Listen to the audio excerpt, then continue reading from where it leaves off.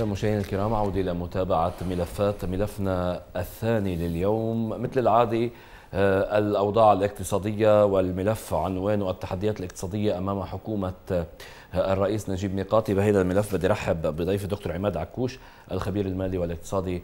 آه، دكتور عكوش أهلا وسهلا فيك. يسعد مساك ويسعد مسا المشاهدين. دكتور دائما وقت اللي نحكي أنا وأنت إن كان على الهواء أو تحت الهواء بنقول المشكلة في القرار. السياسي. هل الأوضاع اللي عم بتمر فيها البلد والأزمات اللي عم تقطع فيها مساعدة للرئيس نجيب ميقاتي حتى هيك ياخذ نفس ويبلش يفكر شو بده يعمل بالأزمة الاقتصادية يفكر شو بده يعمل مع صندوق النقد وبمحاولة آه، إيجاد حلول للأزمة الاقتصادية اللي واقع فيها البلد؟ يعني بصراحة اللي اللي انفتح له للرئيس ميقاتي ما انفتح لرؤساء سابقين قبله. نعم. يعني الدعم يلي آه، عم يتلقاه الرئيس مئاتي سواء على المستوى الإقليمي أو على المستوى الدولي. نعم. آه، ما بعتقد في أي رئيس حكومه نعم. عم نحكي نحن طبعا عن الفترة اللي آه، ما قبل الرئيس ميقاتي. نعم.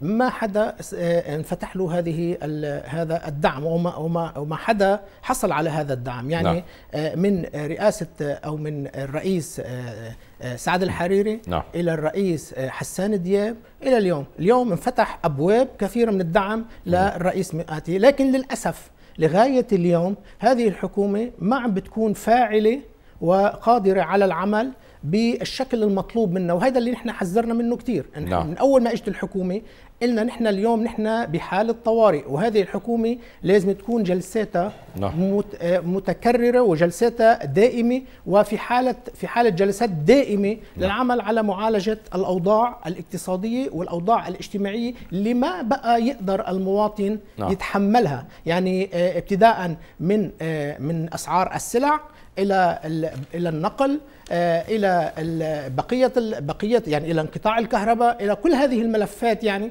هيدي المواطن ما بقى قادر يتحملها ولازم الحكومة تعمل على معالجة هذا الوضع. وخاصة بالنسبة للقدرة الشرائية للمواطن يعني اليوم القدرة الشرائية للمواطن بعد ارتفاع سعر الصرف لل 20 آه، ألف ليرة اليوم انخفضت يعني آه، تقريبا بحدود 93% يعني اليوم الموظف يلي معاشه مليون و200 ألف ليرة. هيدا المليون و200 ألف ليرة يعني ما بي ما بيعطوه كهرباء 5 أمبير اليوم. هي مليون و200 ألف. أنا بدفع 5 أمبير مليون و200 بالضبط. وبالتالي طيب شو بعمل؟ ب... وبالتالي اليوم إنه كيف بده يعيش بقيه بقية الشهر شو؟ الشهر كيف بيعيش؟ نعم. يعني إذا عنده عائلة كيف بيقدر يأمن نعم. الغذاء لأولاده؟ كيف بيأمن المدارس لأولاده؟ كيف بيأمن نعم. الطبابة لأولاده؟ لا في نعم. مشكلة اليوم والحكومة للأسف نعم. ما عم تشتغل بالشكل الصحيح لتعالج هيدي المشاكل. نعم. هذه المشاكل بالتأكيد يمكن معالجتها وسهل معالجتها لكن بدها قرار. نعم. بدها قرار. القرار عند مين دكتور؟ القرار عند رئيس الحكومة بالدرجة الأولى وعند الكتل طبعا اللي اللي أيدت رئيس الحكومة واللي رشحت رئيس الحكومة إنه آه، آه، يشتغلوا على هذه القرارات. يعني نعم. حكينا مثلا عن بنحكي بنقدر نحكي عن كذا ملف. يعني موضوع النقل اليوم نحكى عن موضوع النقل اليوم مثلا أو عن عن موضوع المحروقات. طيب اليوم موضوع موضوع الكهرباء كمان اللي انحكى فيه. طيب ما أنت في دول اليوم عم بتقدم لك بموضوع الكهرباء مثلا في دول عم بتقدم لك اليوم نعم. آه محروقات وفي دول عم بتقدم لك عم بتحاول تقدم لك غاز في دول عم بتقدم. ليش نحن مصرين على معالجة موضوع الكهرباء بشكل خاطئ؟ نعم. طيب نحن اليوم آه بحاجه بحاجة بالنسبة لموضوع الكهرباء بحاجة إلى صيانة المعامل مش لمعامل جديدة. يعني بتشوف اليوم اكثريه الحكي بالنسبة لموضوع الكهرباء مثلا التشديد هو على إنشاء معامل جديدة. بالوقت اللي نحن نحن عندنا معامل بتنتج حوالي 3000 ميجا وات وإذا بعطيك مثل نحن قد إيه بدنا شيء 2500 أنا حاعطيك حأعطيك مثل أستاذ عباس أنا بخاف بس تفتح الاوراق دكتور والله العظيم بخاف. اليوم اعطيك اعطيك مثل. اليوم نحن لبنان لبنان نحن بننتج آه، بقدرة المعامل اليوم هي بحدود 3000 3100 ميجا وات نعم. عدد سكاننا نحن 6.5 مليون نسمة. نعم. يعني نحن لكل مليون نسمة 476 476 ميجا وات لكل مليون نسمة الأردن بينتجوا 3630 عدد سكانهم 10.2 نعم. النسبة 355 ميجا وات لكل مليون نسمة يعني أقل منا وعندهم فائض 20% هن مستعدين يعطون يعطونا إياه.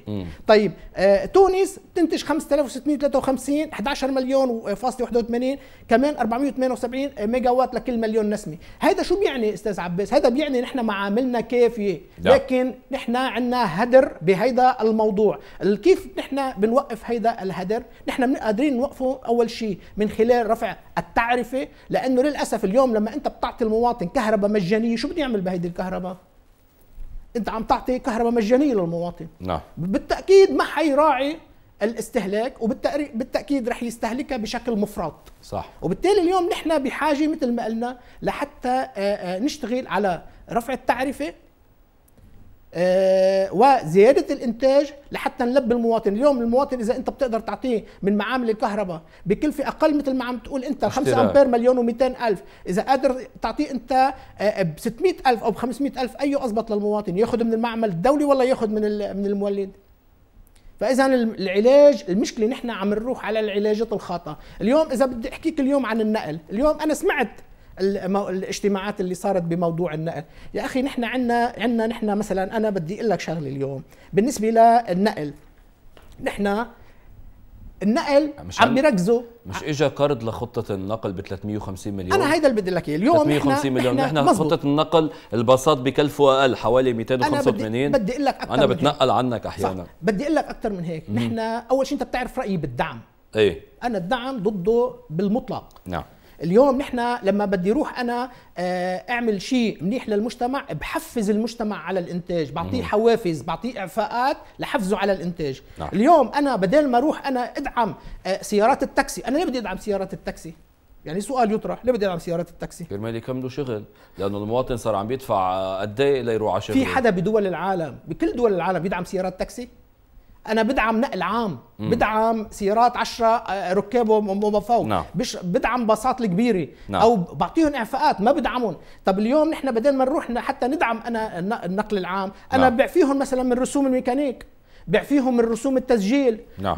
بعفي بعفي آه، من الرسوم الجمركية الباصات والفانات والسيارات العمومية نعم. بعفيهم من من رسم التي في بعطيهم قروض من هيدا القرض اللي جاي اليوم بدل ما أنا أروح أعمل كدولة أعمل شركة أو أعمل أنا باصات سريعة م. أنا بعطي هيدول أصحاب النمر العمومية بعطيهم قروض لحتى يشتروا سيارات جديدة م. لحتى يشتغلوا فيها.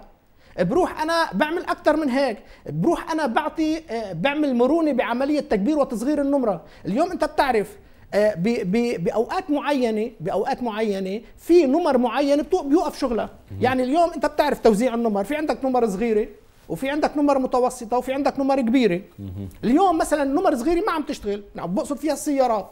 طب ليه ما عم تشتغل؟ لأنه بصراحة اليوم السيرفيس بقد ب 20000 طب المواطن اليوم ما قادر يدفع 20000 service. إذا بده يروح يعني مشوار من الضاحيه على على بيروت بده يدفع تقريبا بحدود 80000 نقل. نعم. طيب عم بفضل يطلع بالفان. طيب بروح أنا بعطي لهالمواطن اللي معه هالسيارة النمرة العمومية صغيرة بعطيه حرية تحويلها لنمر أكبر. نعم. وبالتالي مثلا أخذ قرض لشراء فان أو لشراء باص كبير. بكون شو عملت أنا هون؟ عم بعمل توازن بموضوع النمر. يعني النمر اللي بيكون في عليها طلب أكبر نعم. آه، بصير تتحول يتحول السائق إلى شراء هذه هذه الآلة أو هذه النمرة. وبالتالي وضعها بالخدمة والاستفادة من هذا الموضوع. نعم.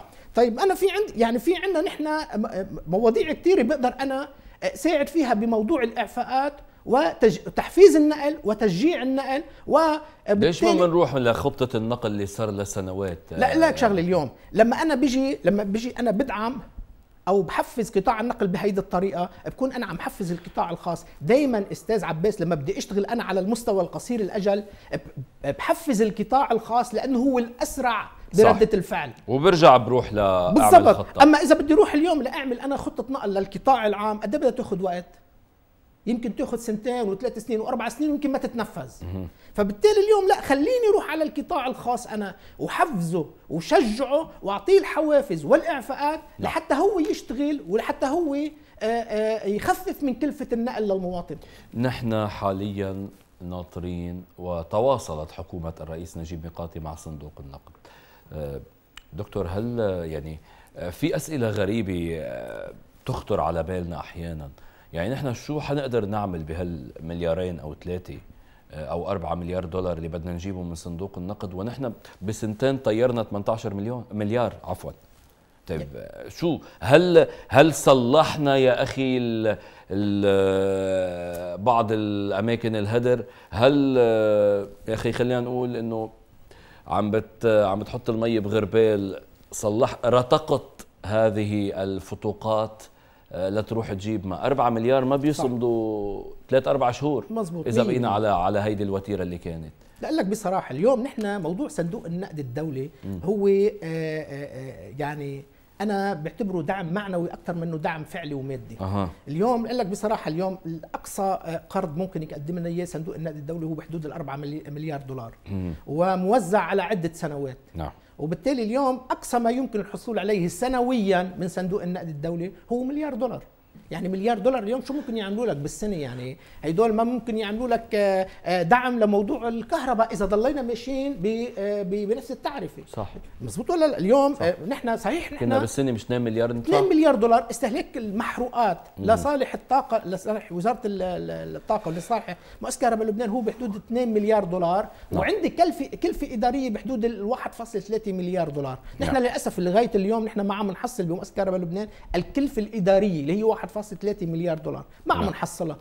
آه وبالتالي اليوم لا المليار دولار أنا بأكد لك اليوم ما, ما بيعملوا شيء. لذلك نحن أنا بقول لك شغلة اليوم اليوم آه لبنان لبنان قادر بمقدراته اللي هي موجودة عنده قادر يرجع ينطلق. لكن طبعا إذا أنا اعتمدت خطة أو خطط ما بدي أقول خطة لأنه الخطط اليوم المفروض اللي اعتمدها لازم تتوزع بشكل آه، تكون الأولوية هي للحاجات الإنسانية والحاجات الاجتماعية نعم. وبدي أعمل أنا آه، خطة قصيرة الأجل وخطة متوسطة الأجل وخطة طويلة الأجل نعم. بالخطه القصيرة الأجل طبعا أنا بدي أشتغل على موضوع هون الموضوع ال ال الاجتماعي موضوع النقل آه، موضوع الأجور اللي ما حدا عم يحكي فيها للأسف اليوم موضوع الأجور عم ينحكى فيه بطريقة إنه خلينا نعمل لجنة مؤشر يا أخي اليوم ما في أنا نطر الموظفين لحتى يشتغلوا بموضوع نعم. إنه والله ينطروا لجنة المؤشر بتجتمع وما بتجتمع وبتاخذ قرار ولا ما بتاخذ قرار نحن اليوم بحال برجع بقول نحن اليوم بحاله طوارئ أستاذ عباس نعم. يعني اليوم مفروض الحكومة توضع حل آه، آه، آه، طارئ لموضوع الأجور نعم. ما فيها تنطر تقول أنا بدي أنطر لجنة المؤشر وشوف التضخم لحتى أشوف قديش بزيد اليوم حكيت أنا بالسابق كثير عن موضوع رفع الحد الأدنى أو إعطاء مبلغ مقطوع للموظفين بالقطاع العام والقطاع الخاص أما قصة الخدمات إنه والله أنا بيجي بعطيهم مساعدة اجتماعية طيب أنا المساعدة الاجتماعية اليوم بدي أعطيها رح تعمل لي مشكلة مثل ما عملت السلسلة بالسابق مشكلة آه، بالسابق لما عطوا السلسلة آه، لوين وصلنا؟ لأنه بصراحة ما كانوا مأمنين الموارد، طب نعم. اليوم إذا أنا بدي إجي كمان اشتغل بنفس الطريقة واعطي مساعدات اجتماعية وبدل نقل للموظفين وبالمقابل ما أمن الموارد. شو بكون عم بعمل أنا؟ نصرف اللي بالمسار اللي بدها تجي. بكل بساطة نحن الدولار هلأ ب 20 بصير ب 40 صار 21 بصير ب 40 إيه بصير ب 40 اذا إذا أنا ما أمنت الموارد بده يصير ب 40 حتما. وبالتالي اليوم أنا اللي اقترحناه بالسابق إنه يا جماعة خلينا نجي نحن نرفع أو نعطي مبلغ مقطوع أو نرفع الحد الأدنى للأجور بمبلغ معين. يعني اليوم نحن أنا بقول لك بصراحة اليوم إذا جينا نحن اليوم رفعنا الحد الأدنى للأجور أو أعطينا مبلغ مقطوع لكل الموظفين بقيمة مليونين ونص ليرة لكل موظف بالقطاع العام وبالقطاع الخاص. وبالمقابل جينا رفعنا الدولار الجمركي والدولار التي إلى 3900 كمرحلة أولى. وشفنا نحن الوضع وقيمنا الوضع بعد هذا بعد هذه بعد هذه الإجراءات. بنشوف يمكن ال ال أنا بقول لك اليوم نحن تجربة عم بتقول. إيه اليوم قال لك بصراحة اليوم نحن الواردات الواردات الجمركية والتي تقريبا بتعادل من من إجمالي الواردات تقريبا بتعادل 6000 مليار ليرة. إذا جيت أنت اليوم رفعت الدولار الجمركي ودولار التي ل 3900 انت بتكون عم بتزيد أو عم ترفع نعم. الواردات تقريبا بنسبة 1.7 نعم طيب نحن بحسب تقدير ال ال الوزراء اليوم آه، والحكومة آه، كلفة المساعدات الاجتماعية وبدل النقل اللي هن مقترحينها نعم. تعادل تقريبا بحدود ما بين الأربعة إلى ال 4500 مليار ليرة نعم. هيدي الكلفة طيب ما أنا إذا إذا أنا اعتمدت هذا الأسلوب إنه رفعنا الرواتب للقطاع العام وللقطاع الخاص بهيدي القيمة. طيب ما أنا قادر أجيب إيرادات أكثر من 4500 آه، مليون ليرة. نعم. مليار ليرة. وبالتالي أنا قادر غطي هيدا المبلغ من خلال رفع الدولار الجمركي. ليش ما بنلجأ إلى هكذا حلول أو محاولات على الأقل؟ لأنه للأسف لغاية لغاية اليوم لغاية اليوم يمكن يمكن الحكومة أو الوزراء ما حاسين إنه والله آه، في آه، قطاع خاص بيعادل 70% 70% من حجم العمالة بلبنان، اليوم اللي عم بيعالجوه أنا بقول لك إياه بصراحة اليوم اللي عم بيعالجوه هو موضوع القطاع العام بس. نعم. طيب اليوم إذا أنا عالجت موضوع القطاع القطاع العام. والقطاع الخاص. طيب القطاع الخاص اللي هو بيمثل 70% من العمالة بلبنان شو بعمل فيه؟ طيب أكثر من هيك إذا جيت أنا اليوم عالجت موضوع موظفين القطاع العام طيب أستاذ عباس الخدمات اللي عم بتقدمها الوزارات ده. نعم. ومؤسسات الخدمات العامة نعم. هيدي كيف بعالجها يعني اليوم إذا أنا جيت لل... أنا زدت للموظفين مثلا بالضمان الاجتماعي زدت لهم أنا آه، آه، معاشاتهم طيب القرطاسيه منين بأمنها المحروقات والكهرباء منين بأمنهم ما هن عم بيعانوا من هيدول أكثر من المعاشات صح. يعني هن عم بيسكروا هن عم بيقولوا نحن عم نسكر لأنه ما في عندنا لا صيانة ولا قرطاسيه ولا كهرباء. طب أنا كيف بامنهم هيدول إذا زدت المعاشات؟ ما أنا عم زيد العجز أكثر بينما إذا جينا اعتمدنا رفع الدولار الجمركي بنفس الوقت مع زيادة الراتب بمبلغ مقطوع بكون أنا عم أمن واردات لعملية الصيانة. نعم. بكون أنا عم أمن واردات للضمان الاجتماعي. أنت بتعرف اليوم بالضمان الاجتماعي نعم. فاتورة المستشفيات آه، مين عم يتحمل؟ 90% آه، منها. في سؤال أكثر من 90% في مين عم يتحملها. في سؤال من آه، صديقنا أنا عم باخذ شوية أسئلة من ال social media ولكن من صديقنا الدكتور عمران زهوي صديقنا المشترك أه بيقول لك إنه ليش ما بينعمل منصة وبنعطي كل مواطن 80 لتر بنزين مدعوم؟ أه ما بيساهم هذا الشيء بتصحيح الأجور على الأقل؟ يعني مثل ما كنا حكينا في السابق إنه يكون في بنزين مدعوم آه ل يعني كمية معينة للموظفين اللي بده يروح على شغله واللي بده يظهر وي وكثير يشغل سيارته ويشتري على على السعر الحالي. أنا قلت لك بالسابق أنت بتعرف رأيي بالدعم. إيه؟ أنا بالدعم كله يعني ضد كل أنواع الدعم. اليوم مثل ما قلت لك اليوم أنا بدي أروح أحفز النقل العام آه بدل ما أعطيه 80 تنكي للموظف أو 20 تنكي أو اللي هن للموظف. 80 لتر شو 80 لتر؟ 80 80 تنكي أنا. أربع تنكات يعني. أربع بدل ما أعطيه آه، أربع تنكات للموظف نعم. لحتى آه، يستفيد منها بروح أنا لا بدعم النقل بدعم النقل يعني مش بدعم النقل بحفز النقل بيشتغل على اعطائه اعفاءات لحتى يقدر يأمن النقل بكلفة كثير قليلة. نعم. يعني اليوم إذا أنا حفزت النقل واشتغلت الباصات بشكل ممتاز وصارت آه، تشمل كل المناطق اللبنانية. نعم. طيب أنا شو بعد بدي بال يعني البنزين لشو بدي أدعمه البنزين؟ لا الأفضل الأفضل أن نروح باتجاه تحفيز النقل العام وهذا بكل دول العالم موجود. يعني ما عم بحكي أنا شيء خصه بلبنان فقط. نعم. بكل دول العالم اليوم بحفزوا النقل العام والنقل المشترك نعم. نحن ما قادرين بصراحة أنا بقول لك نحن ما قادرين نعمل نقل عام حكومي لأسباب متعددة. منها الفساد منها الهدر منها اللي بدك إياه منها البيروقراطية كل لكل أنواع الأسباب نعم. آه نحن ما قادرين خلينا نروح نحفز القطاع الخاص مم. لحتى يعمل نقل نقل عام وبنفس الوقت لحتى أنا حافظ على حقوق يعني هون أصحاب النمر العمومية بدي أنا المفروض من الدولة كمان تاخذ إجراءات لتمنع السيارات اللي هي مخالفة تشتغل نعم. كمان لأنه هذه في يعني أصحاب النمر هدول دافعين دم قلبهم حق النمرة لحتى يشتغلوا عليها نعم. ما لهم بالحق يعني أصحاب النمر الخصوصية يشتغلوا عليها سواء عبر تطبيقات أو غير تطبيقات نعم. هون دور الدولة المفروض تشتغل الدولة على على هالموضوع هيدا وتمنع هذا الموضوع اللي هو مخالف للقانون نعم أنا السؤال اللي دايما هيك بطرحه بقعد بفكر فيه دكتور إنه صار لنا فترة وكأنه متروك المواطن اللبناني يعني لا في حتى محاولات لإنقاذ الاقتصاد ما في. حتى كان عندنا من سنتين مصاري بعد عندنا 32 أو 34 مليار دولار جينا يلا مثل العادي عملنا سياسة دعم تنفيعات للتجار والمواطن اللبناني لم يصلوا أي شيء. يعني هل ترك اللبناني بظل هيدي الأزمة؟ مش مسؤولية المعنيين المسؤولين الحكومي الوزراء. شو عم يعملوا دكتور؟ بدي أقول لك شغلة إيه نحن آه لو لو من سنتين اشتغلنا صح إيه؟ نحن كان عندنا القدرة الكاملة كان عندنا 32 مليار دولار صحيح.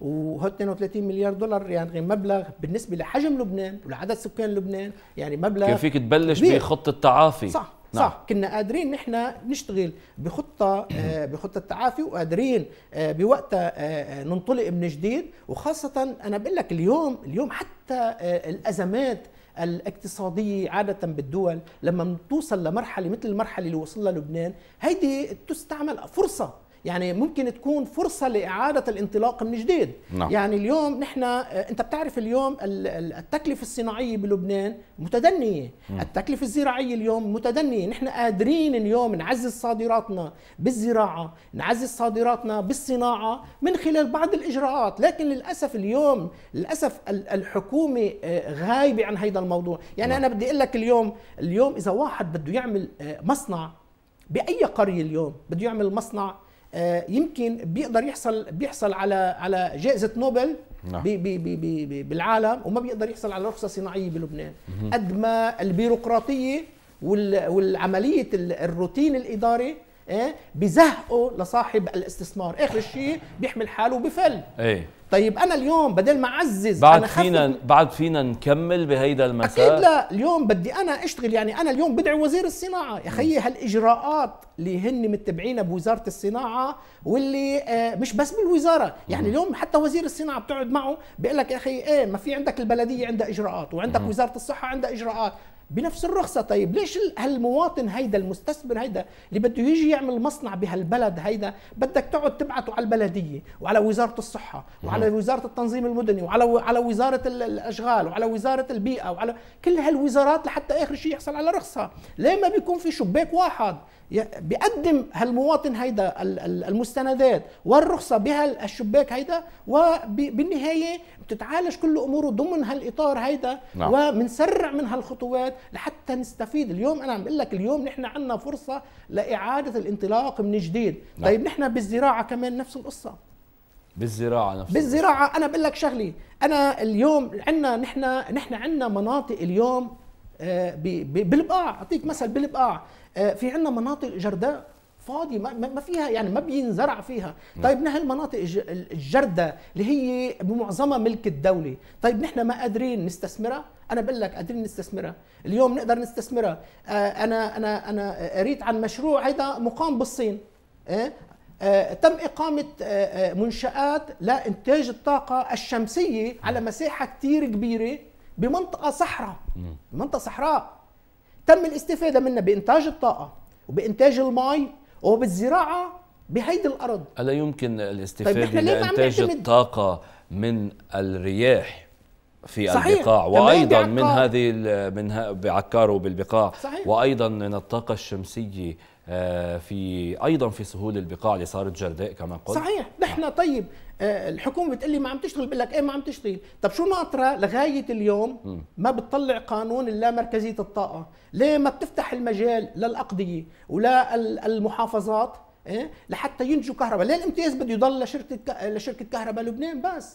طيب يعطوا مجال لش... للأقضية للمحافظات للشركات الخاصة تنتج طاقة. نحن ما عم نقول لهم يروحوا يعطوا امتيازات لشركات تنتج آه، طاقة آه، آه، حرارية. لا. يعطوهم لحتى ينتجوا طاقة نظيفة بالكهرباء نعم. بالطاقة الشمسية بالرياح. قادرين نحن قادرين بس بدنا للاسف بدنا بدنا شوية قرارات سريعة بهيدا الموضوع لحتى نقدر نشتغل. ما فينا نضلنا نشتغل بهيدي الطريقة. يعني اليوم مثل ما قلت لك اليوم المجلس الوزراء أساسا المفروض يكون بحالات انعقاد دائم. نحن نعم. بأزمة طوارئ نحن منا مرتاحين ما عندنا طرف الوقت. للأسف ما عم يستفيدوا من الوقت. لغاية اليوم ما عم يستفيدوا من الوقت. علينا أن تجتمع بالسابق كنا نقول يجب إنه يكون في حكومة شكل حكومة اليوم بدنا تجتمع الحكومة. صحيح. إيه.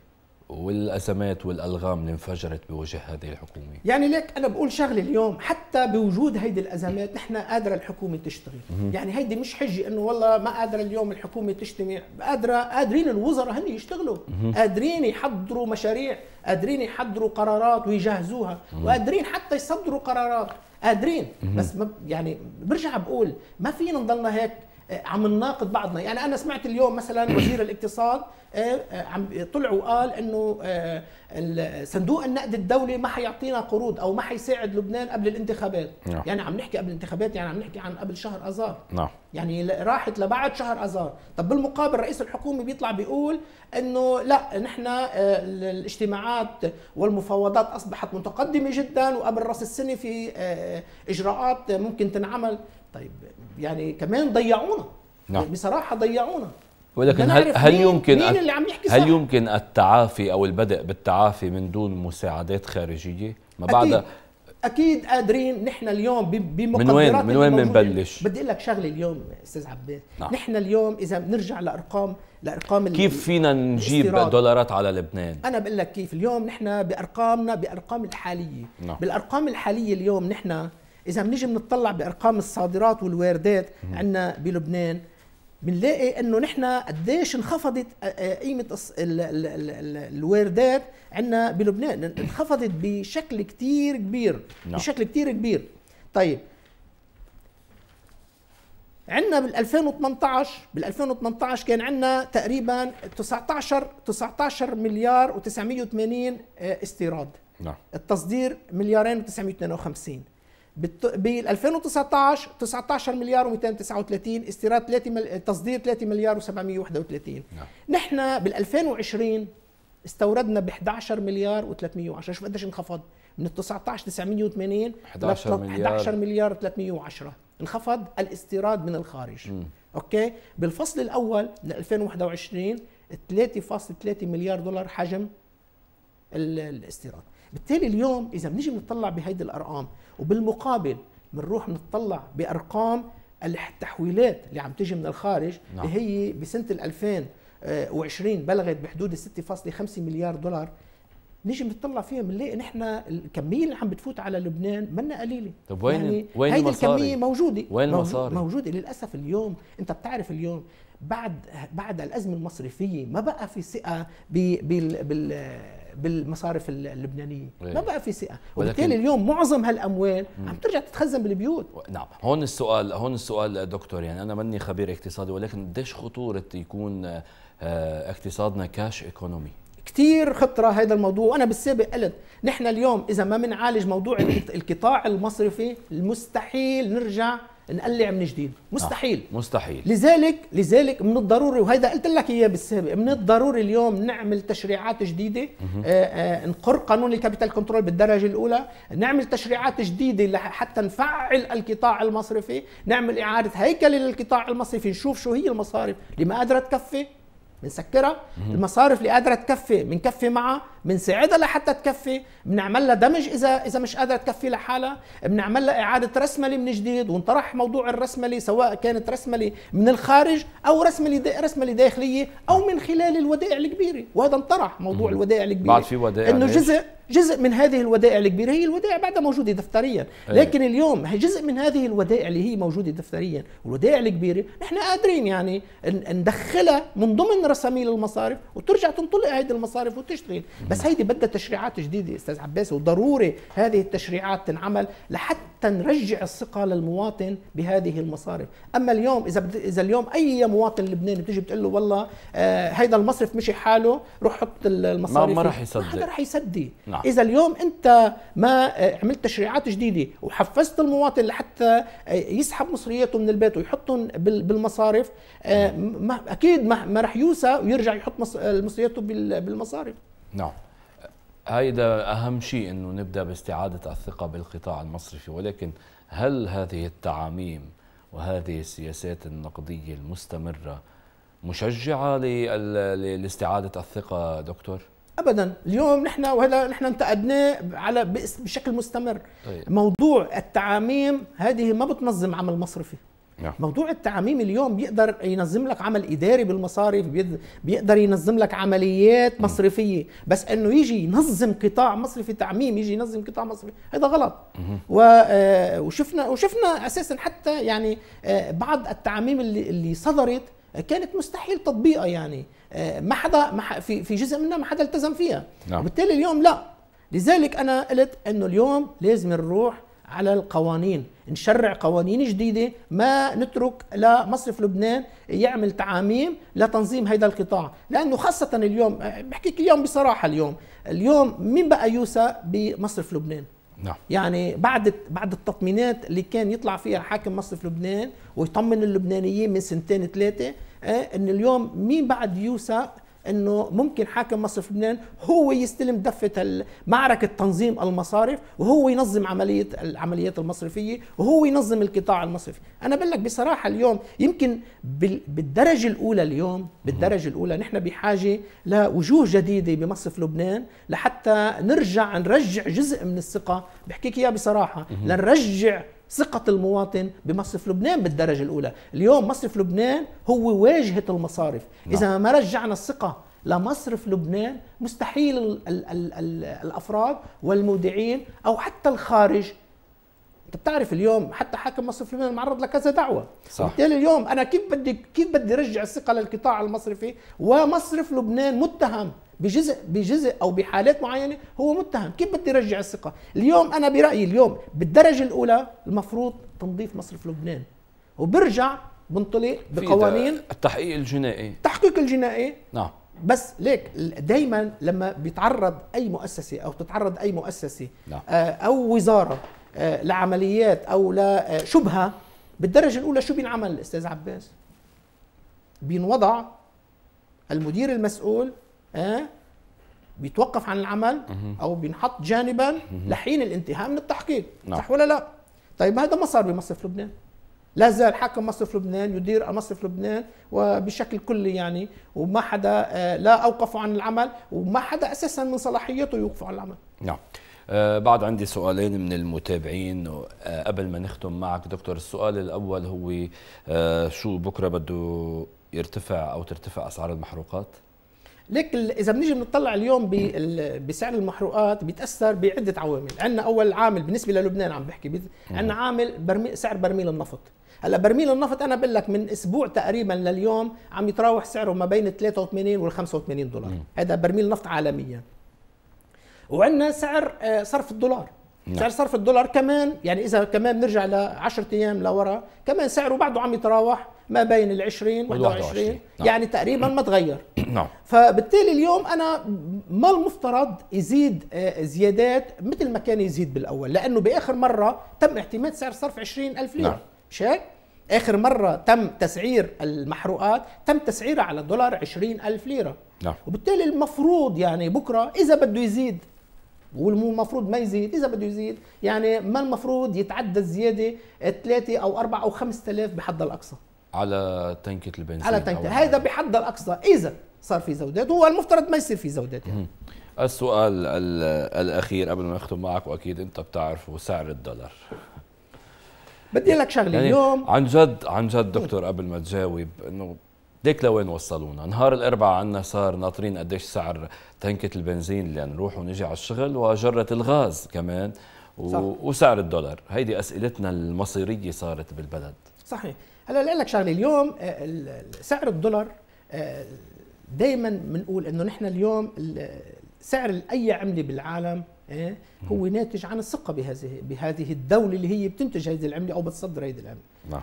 للأسف لغاية اليوم نحن أنت بتعرف اليوم لغاية اليوم نحن الليرة اللبنانية ما في ثقة فيها. ده. لأنه بكل صراحة ما في ثقة بالدولة اللبنانية وما في ثقة بالمنظومة السياسية اللي عم تحكم لبنان نعم. هلأ أنا لحتى أقدر ثبت هيدي العملة أو ثبت الدولار أو على الأقل أعمل حالة استقرار لهيدي لسعر صرف بدي رجع الثقة للمنظومة السياسية نعم. طيب هل هل هيدي بالدرجة الأولى وبالدرجة الثانية بدي أرجع فعل عمل مصرف لبنان نعم. لأنه بالسابق أنت بتعرف مصرف لبنان عنده وظيفة أساسية وعطيه قانون النقد والتسليف وهو نعم. العمل على استقرار سعر الصرف. صح. هو ما عم بيمارس هيدي المهمة.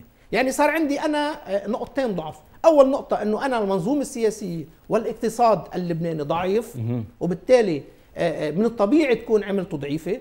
وعند النقطة الثانية إنه ما في عندي ضابط يضبط حركة صعود وهبوط الدولار بالشكل كثير كبير. نعم.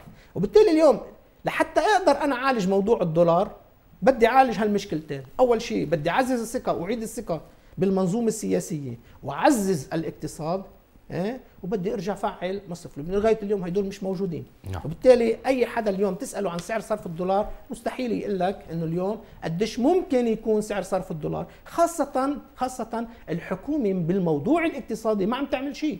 نعم. يعني لغاية اليوم العجوزات والخسائر بمصرف لبنان عم بتزيد إيه؟ والحكومة ما عملت شيء. يعني اليوم خسائر مصرف لبنان بحسب بياناته عم بحكي عن الخسائر المصرح عنها ببياناته المالية وصلت لحدود تقريبا 86 ألف مليار ليرة. نحن مش قادرين نوقف هدول الصرافين اللي على الشارع. طيب. الصرافين اللي على الشارع اللي عم بتشوفهم بكل المناطق ما قادرين نوقف صح. والكتلة النقدية بنفس الوقت زادت ل 42 ألف مليار ليرة وكل عم بتزيد. نعم. طيب ما أنت اليوم ما دام أنت عم تطبع وعم بتزت ليرات بالسوق وما عم تعمل علاج لهيدا الموضوع وبالدرجة الأولى برجعك للقطاع المصرفي ليش عم بتزيد الكتلة النقدية؟ لسبب لسببين. نعم. أول سبب أنه الناس مصريات عم تسحبها من المصارف ما عم بترد على المصارف عم بتخليها ببيوتها. نعم. هيدي نقطة. والنقطة الثانية إنه في عندي عجز دائم بموازنة الدولة ومن ضمنها الخدمات اللي عم بتقدمها اليوم بيطلعوا لك ب ب ب بقصة الأشهر المساعدات الاجتماعية نعم. وزيادة بدل النقل. طيب ما أنت يا دولة ما أمنتي الموارد لحتى تدفعي هيدي المصاريف. نعم. بالتالي أنت شو عم تعملي؟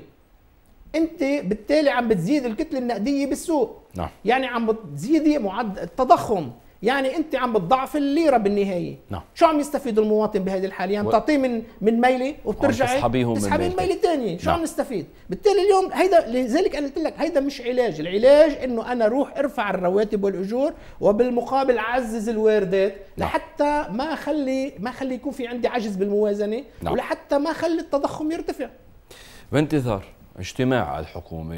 اليوم جولة آه، البطرك الراعي على الرؤساء آه، عم نقرأ يبدو أن هناك حلول للأزمات الحاصلة بالبلد. عندما تنتهي هذه الأزمات ستعود الحكومة إلى الاجتماع. بالطبع وننتظر العمل من هذه الحكومة. دكتور عماد عكوش الخبير المالي والاقتصادي بعرفك منك ناطر عمل أنا منك منك متأمل من هذه الحكومة. ولكن ما عنا غير الأمل ما فينا إلا نكون دائما تعرف مشكلتنا أستاذ عباس نحن لأنه بنعرف عم نباشر عم نباشر بالإصلاح بالمحل الغلط. إيه. انت بتعرف وأنا أنا بعرف انه الاصلاح لازم يبلش بالاصلاح السياسي قبل الاصلاح صح ما نحن بنعرف. إذا ما صلحنا بالسياسة مش بالاقتصاد مش نعم. حيمشي الحال وصعب كثير ويمكن هيدي الكلمة الوحيدة والصحيحة اللي قالها ماكرون لما اجى لهون إنه لا يمكن الإصلاح الاقتصادي في ظل المنظومة الطائفية في في ظل النظام الطائفي. النظام الطائفي الحاصل. دكتور عماد عكوش الخبير المالي والاقتصادي شكرا جزيلا لك. مشاهدينا آه، الكرام فاصل ونعود لمتابعة الملف الأخير من ملفاتنا لليوم. آه، ملف أعمار مرفأ آه، بيروت مع المهندس شربل أبو جودي.